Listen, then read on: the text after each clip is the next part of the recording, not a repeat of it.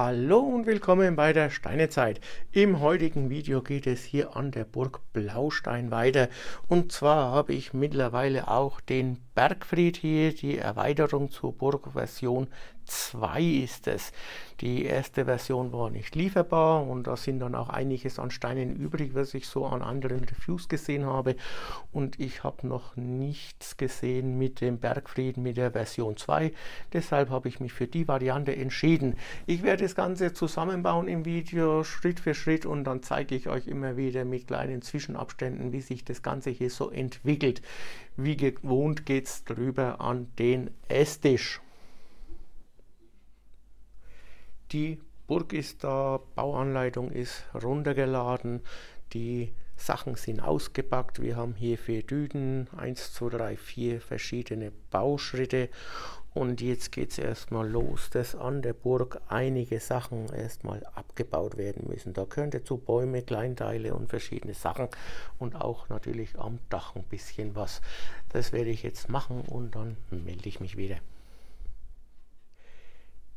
Die ersten zwölf Bauabschnitte waren jetzt hier die Burg zerlegen, Steine wegnehmen, Dach abbauen, die Sachen aufheben. Die werden teilweise auch wieder verbaut, immer wieder im Laufe der Zeit.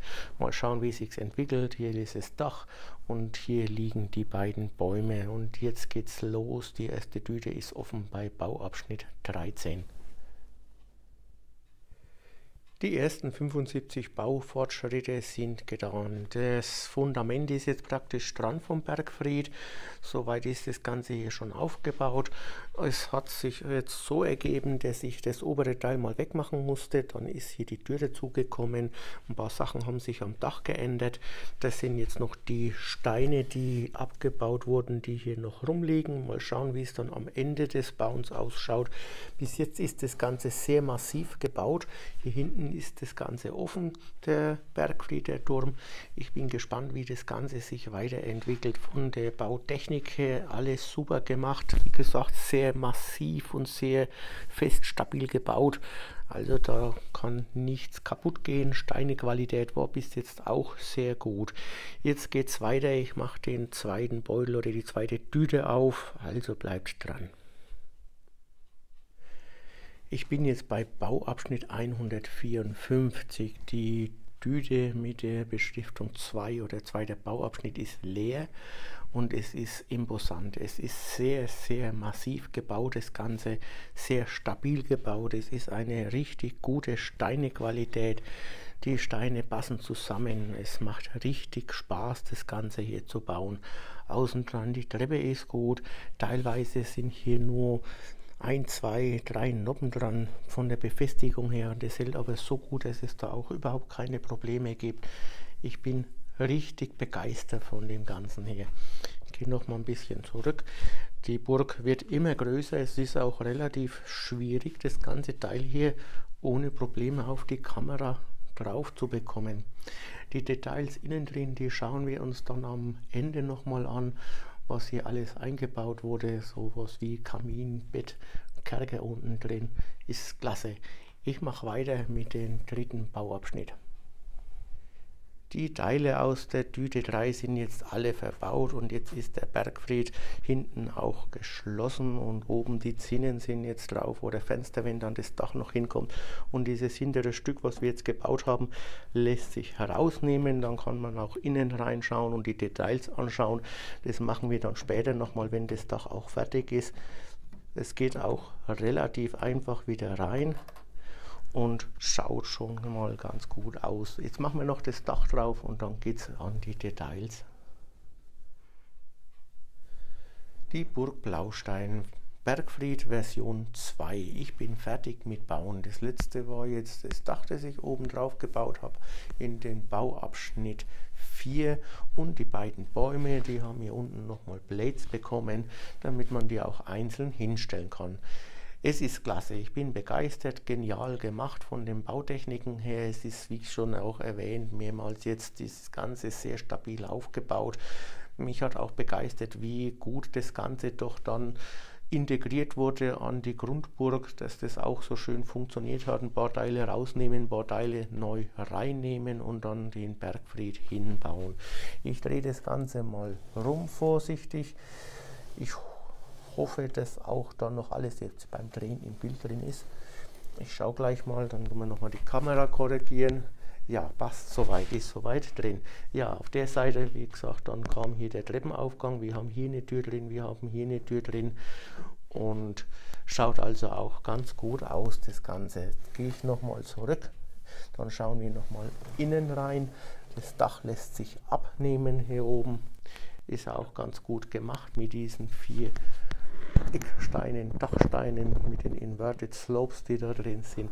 Und das Teil haben wir ja auch schon gesehen, können wir rausnehmen und wir können reinschauen. Ist also auch sehr stabil und sehr massiv gebaut vom Äußeren her. Geht unten an mit einer Breite von 4 Bricks und geht dann nach oben hin mit einer normalen Breite von einen Brick, wenn wir uns das anschauen.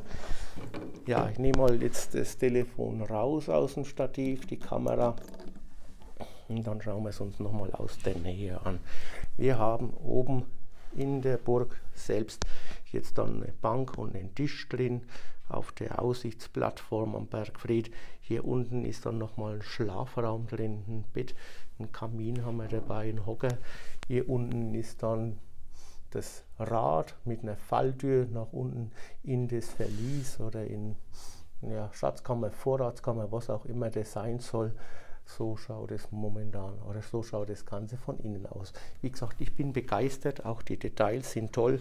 Schauen wir uns nochmal die beiden Bäume an. Das sind die Füße oder die Blades es sind natürlich auch noch ein paar Grünzeugsachen da, die habe ich jetzt nicht mit drauf gebaut für meine Version, aber das ist auch noch mit dabei. Ja, ich würde sagen, wir stellen das Ganze jetzt mal drüben auf die Anlage und schauen uns mal an, wie es ausschaut in der Landschaft. So schaut das Ganze aus auf der Anlage. Die Burg habe ich jetzt hier einfach nur hingestellt. Viel mehr werde ich momentan nicht integrieren, weil ja die anderen Ausbaustufen auch noch mit dazukommen sollen. Und dann macht es momentan noch keinen Sinn, hier mit Bergbau anzufangen und das Ganze auch hier entsprechend zu integrieren. Und auch hier von der Höhe her, ich muss schon relativ weit zurückgehen, damit das Ganze auch hier gut drauf passt. Die Bäume habe ich neben dran gestellt, die passen also von der Größe auch sehr gut mit dazu zur Anlage und zu den Verhältnissen. Dann habe ich jetzt hier nochmal die Emerald Lok hier hingestellt um auch nochmal einen kleinen Größenvergleich anzuschauen, ob denn das Ganze jetzt zu dem ganzen Geschehen hier passen würde von den Zügen her. Und ich denke, dass das hier mit der 6W-Lok doch ganz in Ordnung ist. Es wird nie perfekt sein vom Maßstab her. Ich habe aber auch festgestellt, wenn ich eine 8W-Lok nehme, ich habe hier ja noch die 23, war auch mal eine Fanpost, die sollte eigentlich wollte ich eigentlich umbauen in 6W. Und wenn ich jetzt hier so eine 8W Lok daneben stelle, schiebt das alles nur, das sind nicht motorisiert, die beiden Motoren. Und ich schaue mir dann das große Teil hier an und ich schaue mir daneben die Emerald Lok, dann sind es schon von den Größenverhältnissen Welten, die da dazwischen liegen. Und wenn ich dann jetzt wieder die Burg anschaue mit 8 W-Loks und 8 W-Anlage würde das Ganze nicht mehr so gut zusammenpassen und deshalb bin ich auch bei diesen 6W Lokomotiven und Zügen geblieben, damit es auch halbwegs passt von den Platzverhältnissen. Ja, zur Burg selber nochmal gibt natürlich eine klare Kaufempfehlung. Wir haben jetzt hier über 7000 Teile, die Burg selber mit um die 5500 und der Bergfried waren jetzt, ich glaube, 16 oder 1700 Teile. Es gibt wirklich eine klare Kaufempfehlung für das Ganze. Und ich bin sehr gespannt, wie sich das Ganze dann weiterentwickelt. Die Vorburg ist momentan ja nicht lieferbar, also wird es ein bisschen dauern, bis wir hier weitermachen können. Ich bin gespannt. Ja, das soll es dann für heute gewesen sein. Link mache ich euch in die Videobeschreibung rein zur Burg. Wenn es euch gefällt, wenn ihr den Link benutzt, würde ich mich natürlich freuen. Habe ich auch eine Kleinigkeit mit davon. Also dann bis zum nächsten Mal.